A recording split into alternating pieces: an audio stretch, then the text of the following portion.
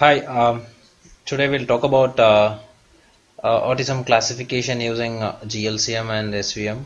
So uh, here we are going to use uh, GLCM uh, feature extraction and and we are going to classify using SVM. So um, so we'll start with training. So we'll go with training first. So here we we have used different subjects of images for normal and autism based and uh, so here we have the data sets uh, for the training purpose.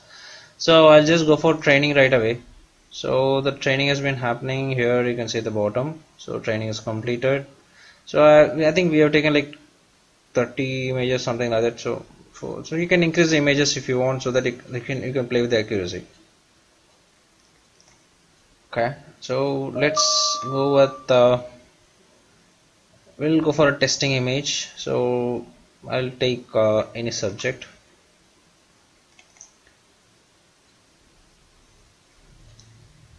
So we have an enhanced version of the uh, original image. And then I'm going for GLCM feature extraction. So based on the feature extractions you can see the values here of the features. So obviously I'm going to use like seven features here. So it's going to be put, on, put up in a matrix. Uh, and I'm going to recognize. Okay and the subject it says autism. So let's go again and say uh, select any okay I'll select the subject or let's assume now select this subject number. Okay. So this is supposed to be a normal image. Let's see what happens. Perfect and this subject is supposed to have autism feature extraction recognition so fine. So let's take uh, some other subject from the dataset. Uh, take some normal image.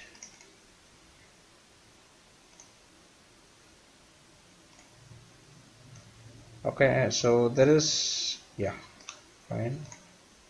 Let me take.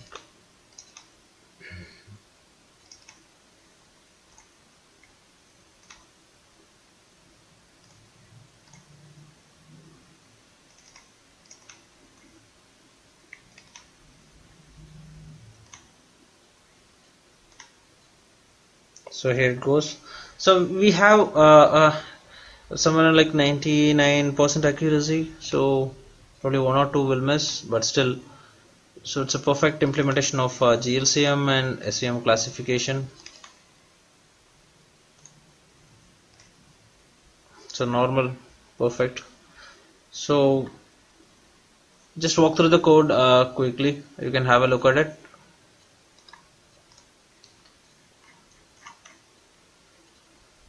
So you can see the GLCM uh, uh, matrix here so we have been using like you feature 7 so so this is how it works. This is the GLCM part of feature extraction. And uh, of course you can you can train with you know any number of images as per your requirement. Okay. Thank you